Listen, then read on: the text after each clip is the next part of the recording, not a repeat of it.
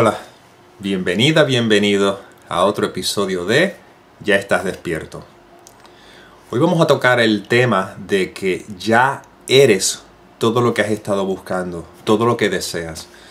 Podríamos decir ya tienes todo lo que has estado buscando, todo lo que deseas. El problema con la palabra tener es que implica posesión y eso solidifica la creencia en una separación. Hay un yo que tengo. Pero sin embargo, ahora mismo eres todo lo que has podido desear porque eres la energía universal misma, eres Dios, esencia, unicidad, amor, como quieras llamarlo, salvo que está siendo opacada por la identificación con un yo separado, con un individuo separado, que a su vez corrobora esa creencia en la separación cuando empieza a etiquetar todas y cada una de las aparentes diferentes imágenes que forman parte de la energía universal que eres. Estas palabras van apuntando hacia una realidad, letra mayúscula, abstracta, que no tiene nada que ver con tu experiencia humana. Tú como individuo no es quien recibe estas palabras. Tú, al igual que yo, formamos parte de la totalidad misma y estas palabras también forman parte de esa totalidad misma como símbolos o como ruido están constantemente recordando y resonando en algo muy profundo que es nuestra esencia de ser. Entonces cuando tú ves frases en la Biblia, por ejemplo, que te dicen, busca primero el reino de los cielos y su justicia, y todo se te dará por añadidura, la mente atrapa esa, esa frase y ahora cree que la está tratando de aplicar a un yo separado. Y ahora digo, ok, entonces, ¿cómo puedo buscar el reino de los cielos y su justicia para que todo se me dé por añadidura? Porque cree que tiene que buscar esa experiencia para que todo aquello que cree que está separado de sí mismo se le pueda dar.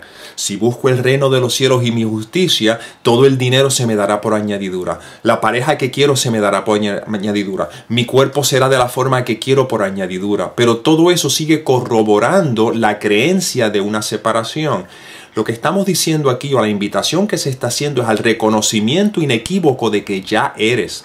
Por lo tanto, buscar el reino de los cielos no es una cosa que se hace, no es una búsqueda, por así decirlo, simplemente es una frase que está apuntando a una realidad que es. Entonces, se podría decir que en vez de busca el reino de los cielos y su justicia para que todo se te dé por añadidura, empieza a mirar todo lo que se percibe como falso, es como negar lo que se percibe, y eso sería una forma de búsqueda este, no sé cuál es la palabra, este, eh, eh, eh, hacia atrás, ¿entiendes? Entonces no se está buscando, se está, se, está dejando a un lado, se está soltando. Ya eres el amor en el que descansas, pero lo estás buscando. Cuando dejas de buscarlo al reconocimiento de que ya todo lo que se percibe es falso, una vez que se descarta lo, se descarta lo falso, ¿qué es lo que queda? Lo que es, lo que siempre ha sido, lo que siempre será. Entonces tú eres eso que ya es que siempre ha sido y siempre será. Pero la creencia de que eres un individuo separado es lo que opaca el hecho de ya ser. Por lo tanto, aquí no estamos tratando de buscar nada, ni estamos diciendo qué hacer o qué no hacer. Esto es un recordar constante a través del cual estas imágenes que aparenta ser un tú, aparenta ser un yo, las palabras que son parte de las imágenes, todos forman parte de la misma energía, aparenta estar eh, comunicándose, recordándose la esencia de lo que soy, la esencia de lo que eres, la esencia de lo que es. Y por eso es que todo lo que estamos haciendo es recordando, no como una memoria pasada, sino recordando en este instante que somos lo que las palabras no pueden describir. Y eso es todo lo que se va a recordar aquí. Entonces estos videos o esta información resuena a un nivel intuitivo, no, a un nivel entendido. ¿Tú ves? Y por eso es que estamos constantemente recordando lo mismo. En ese sentido, cuando eres consciente, no tú como persona, pero es que el lenguaje nos limita, cuando hay esa toma de conciencia de que soy la energía universal y se deja de estar etiquetando las diferentes partes como algo separado de mí, no puedo sino que ser consciente de que soy, tengo todo lo que siempre he deseado en mi vida, que es recordar lo que soy, no es objetos.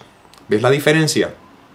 Por lo tanto, cuando descansas en esto que eres, todo lo que necesitas se te da o, se, o, está ahí porque es la vida misma apoyándose a sí misma.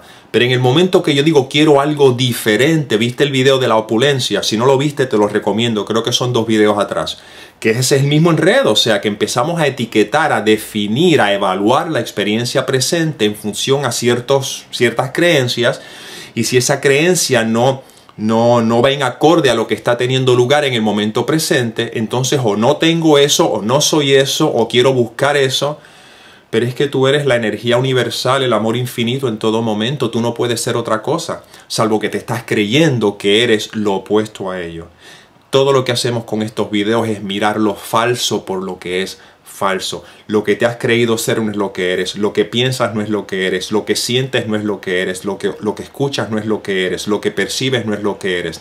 Simplemente eres. Y eso es todo lo que se está recordando aquí.